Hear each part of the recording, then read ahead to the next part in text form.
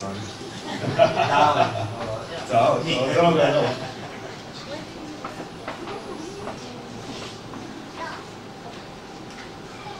You this dude who was walking with the thing on with your chest the I'm gonna start coughing all sorts of bad stuff. Alright. So sacrifice, this is your different uh, topic for communion this morning. I don't my heart. So I thought, oh, I'll do the right thing. So I went through the, the dictionary. And a sacrifice is the act of surrendering something valued for the sake of something else regarded as more important or worthy. Now we all know the scripture, John 3.16, for God so loved the world, he sent his son to die for us, in do so. But I thought, well, I need to go back a bit further than that to see where the sacrifices for God really started.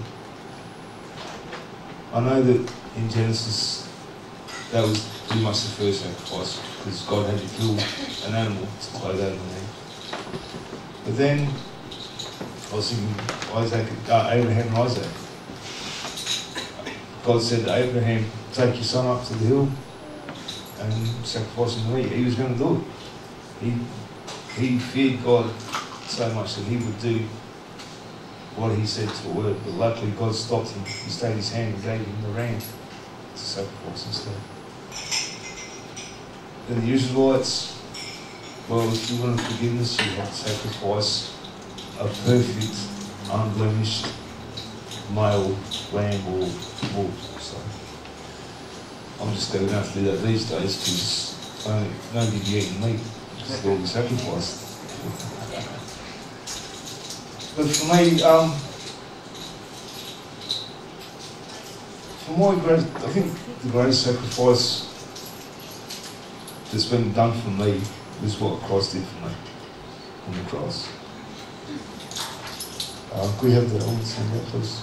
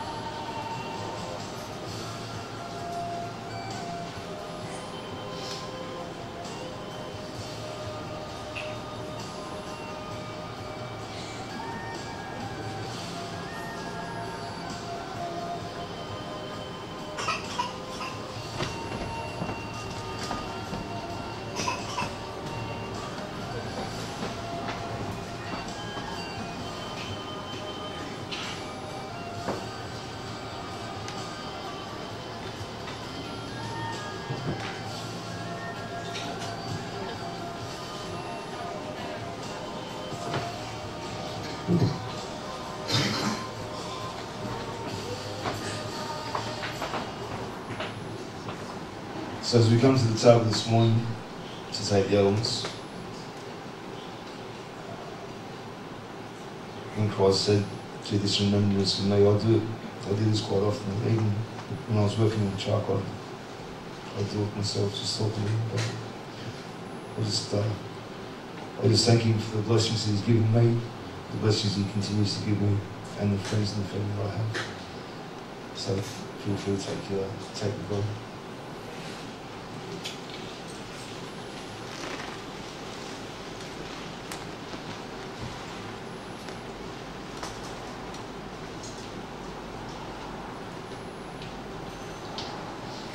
As we take of the cup, I just give thanks and praise God that I am forgiven through the blood of the Lamb.